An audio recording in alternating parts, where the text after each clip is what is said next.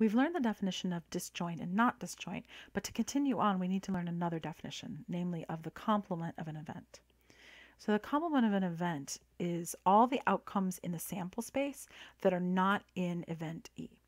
So it's denoted several ways. Um, the most common for us is E with a little c after it, but you can actually do it as E prime or E bar. They all mean the same thing. They mean you're not in E. Let me give you an example. So let's go to our handy dandy friend, the cards, shall we? So if I have the deck of cards here, and if this is hearts in here, right? So I have all my heart cards in here. Then out here in the sample space would be all the not hearts, right? So let me see.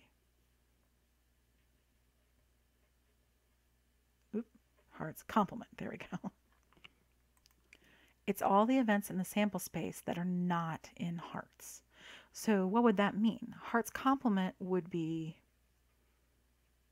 or you could say hearts prime, same thing, which is the same thing as hearts with a little bar over it. They all mean the same thing. They all mean not a heart. Well, if you're not a heart, what are you? That means you're a diamond. Ooh, I'll even color code this. A club or a spade. Right, there you go. So those these three right here and this right here mean the same thing. Now there's one other thing to note here, which is voice. So this is a negative voice. You're saying it's not a heart. So I'm saying negative, right? It's negative, not a full heart. This is a positive voice. And there are times when we want to use one, and there are times when we want to use the other. So you need to be able to do both, which is why I have you practicing that in this example down here. So let's do so. So I'm going to roll a 10 sided die. Ooh, 10 sided die, and I want to roll an even number. Well, I happen to have a 10 sided die right here.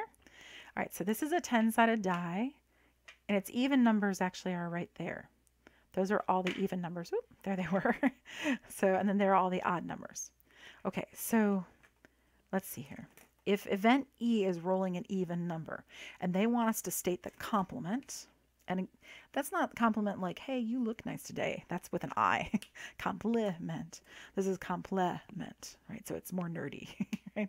So complement would be E complement would be not rolling an even number right? It's not even. Or I could say not rolling an even number if you like, you know, whichever.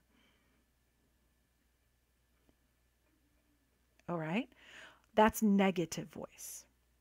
So I did negative voice right here. Let me do positive voice. Um, I'll do it in green. So if you didn't roll an even number, what did you roll? You rolled an odd number.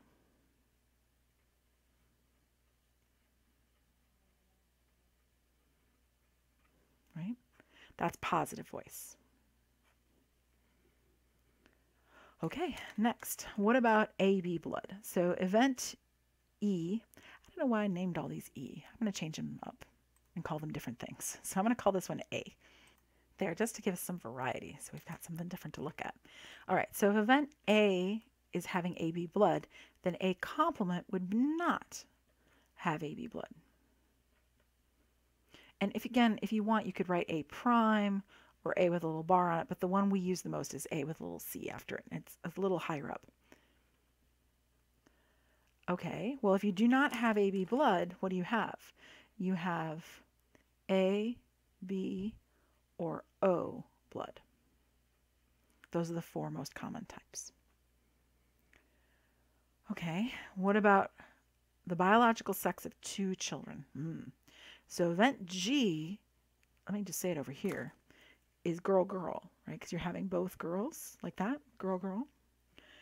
So G complement would be not having girl girl. Well, what would that mean? That would mean you have a boy boy, boy girl, or girl boy. See how that stuff we learned in 5.1 is coming in handy for being able to find the sample space in our brains. All right, now let's see here. Selecting a person at random And I made this F because I can't use P. P is the one letter we generally never use for um, events because P of P would be a little bit weird. so I did F for fur because I figured they're furry, they're pets. All right, so having less than three pets. So if F is having less than three pets, F complement would be not having less than three pets. It's a little weird.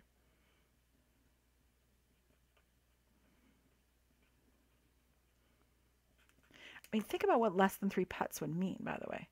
Less than three pets would mean you have zero pets, one pet, or two pets, right? So you do not have less than three pets. So what would that mean? That would mean you have three or more. See, less than is zero, one, and two. So you'd have three or more pets. Sky's the limit. Three, four, five pets. And I'll just let it keep going. Who knows? Maybe you have a whole bunch of tarantulas, right? Okay, so that helps us with complement. It is all the events that are not in the event you're looking at. So event F is having less than three pets. The complement then is all the other things in the sample space that are not having less than three pets. In other words, three, four, five, or six, and so on.